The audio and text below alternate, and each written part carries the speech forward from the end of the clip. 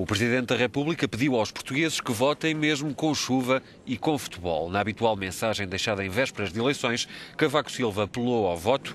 Recorde-se que em setembro o Presidente da República admitiu ter ficado surpreendido por ter sido quebrada a tradição de não ocorrerem jogos de futebol em dia de eleições. Entre afazeres profissionais, compromissos familiares, assistir a jogos de futebol ou outras atividades esportivas e de lazer, não deixem de incluir a deslocação à secção de voto entre as 8 da manhã e as 7 da tarde.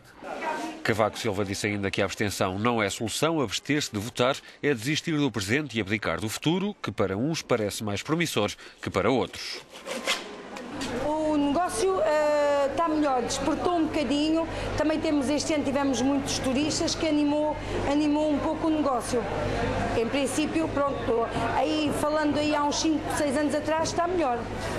Com a crise nós ficamos a ganhar menos. Os impostos são mais, o dinheiro é, é, é menos, não há aumentos.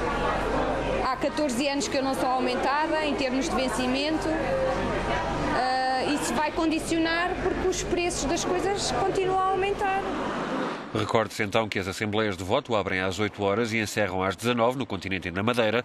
Nos Açores abrem uma hora mais tarde e encerram uma hora mais tarde. As primeiras sondagens são anunciadas às 20 horas, hora continental.